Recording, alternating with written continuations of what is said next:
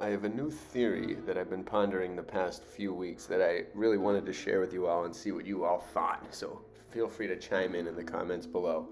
But I'm not sure what sparked it. If it was me kind of messing with my art and looking at these worlds and pondering the shape of the universe, which I constantly kind of do, or if it was my real estate tr- like training and the stuff that I've been doing in that world that got me to think of it. But it combines them both, and I don't know if I would have come up with this theory had I been a dog groomer or something else at this present moment.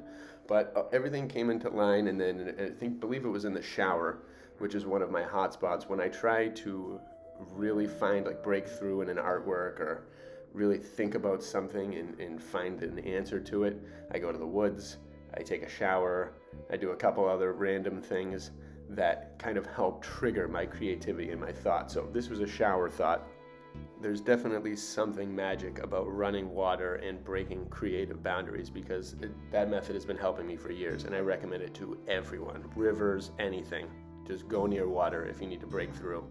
So, this theory that I'm proposing, and there's millions of theories. I love living in potential. I don't like sticking to one until I know what the truth actually is. So until then, I'm going to believe in thousands of possibilities.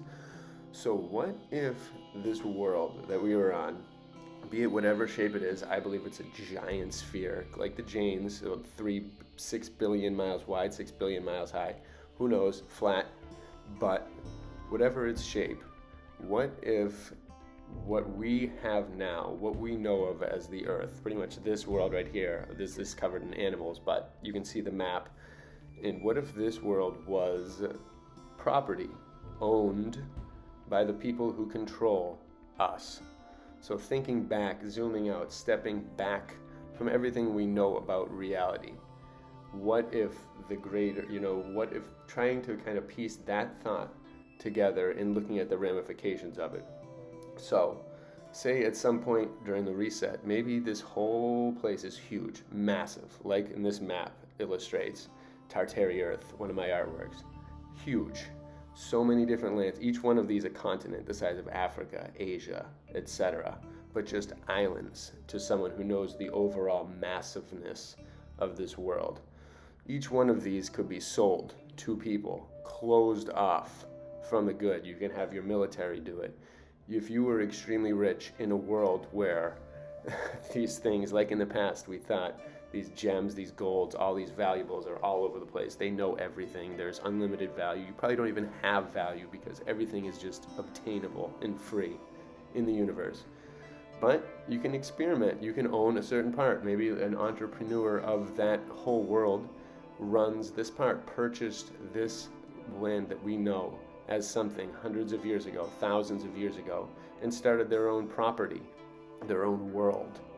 And that's what we see. They control the information. They can occasionally, people can occasionally dig and find out knowledge of the ancient past like we're all doing, but that was just previous owners, maybe 10 previous owners ago.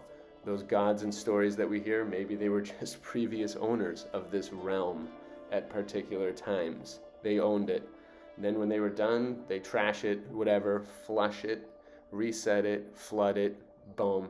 Who wants to buy it next? Put it up for sale. Then that method kind of leaches into how they buy continents, how they buy countries. Over hundreds, over thousands of years, people get disseminated, people spread, culture spreads, culture grows. When the lease is up, reset. What if that was true? They could control the knowledge, they could control everything, there would be an elite that would keep all the secrets hidden and promote a reality to the people that just continued to reproduce. That is what you would see in a situation like that. And these people, jet setters, these private people with their islands, they control the map. They control who goes beyond what. Otherwise, they use military force. They keep everyone quiet.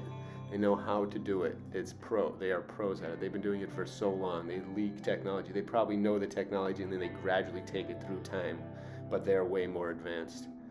Who knows? It's just a theory, again, but it seems kind of interesting. The lease theory of Earth, the rental theory of Earth, the property.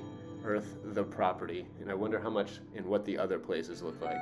I hope we get to see them someday. I really want to travel to them. I want to know the truth had enough of being just a little whatever. It's time we multiply and become everything. We the people are the best. Bless you all.